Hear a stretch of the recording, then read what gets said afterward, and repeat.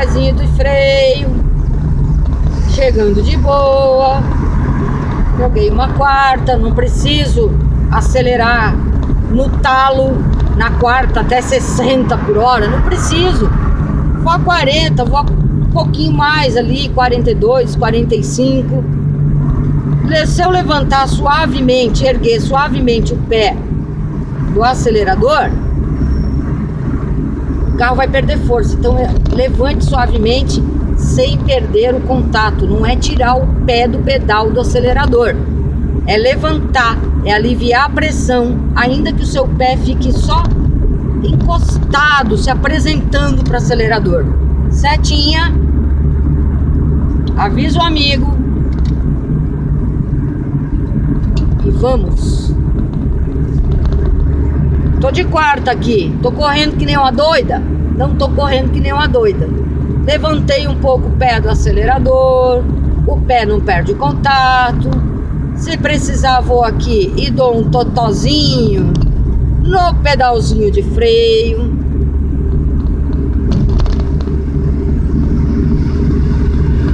Ó, descida e curva. Pedalzinho de freio, mas só para controlar a descida, tá? Aí, só para controlar a descida, retomei aqui de novo, ó. Aceleradorzinho, suave, gente, suave, suavinho. É suave, é relaxante. Não fica pesado o pé, o corpo, nada pesado não, é suave. Se, se você tivesse relaxando no banco do motorista, se estivesse relaxando na sua poltrona preferida. Tô vendo a galera lá na frente tudo paradinho por causa do semáforo. O que é que eu faço? Eu levo suave. Suave, suave, suave. Botei o pezinho aqui. Nem precisou parar no semáforo, só vim devagar, de quarta, levando suave, trazendo o carro de boinha.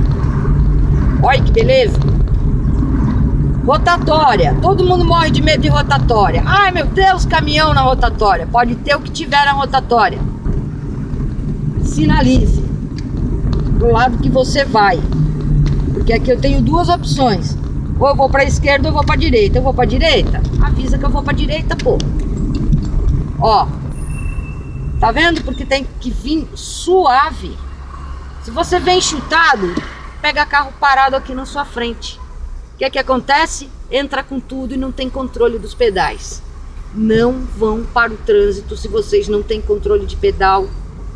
Não vão para o trânsito se vocês entendem que tem que socar o pé no acelerador para subir uma rampa, um subidão.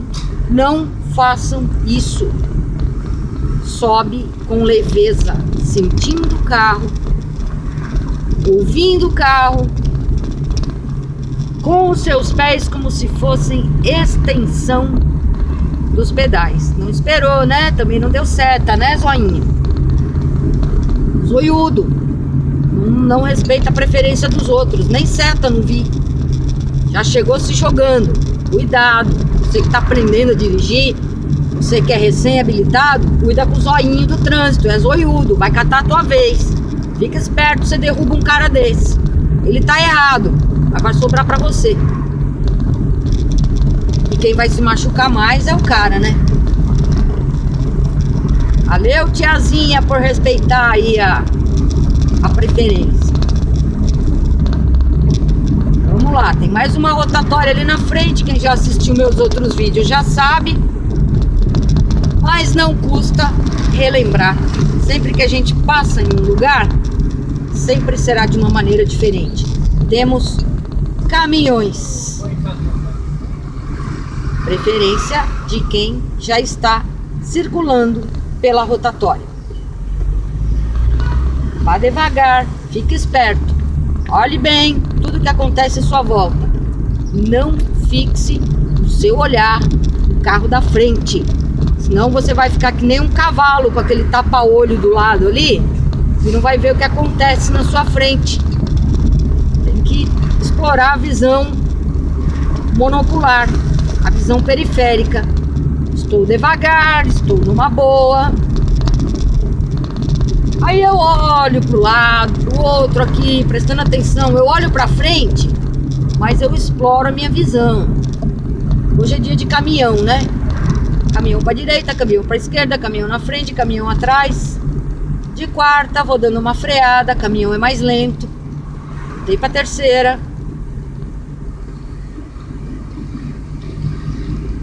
E vamos, devagar, numa boa. Tiozinho, você tem que atravessar na faixa, senão eu não vejo o senhor aí atrás. Ver e ser visto no trânsito é a máxima, né? É tudo pra gente. Ver e ser visto. O amigo ali quer entrar, vou fazer a gentileza. Dei sinal pra ele aqui. Vai lá, querido. Valeu. Só reduzi de quarta para segunda, nem parei o carro e fiz uma bela de uma gentileza, não tranquei o trânsito do lado de lá. Para mim não ia trancar aqui, mas pro lado de lá ia complicar. Faça gentileza, seja gentil, torne o dia dos outros melhores. Alguém vai tornar o seu dia melhor também.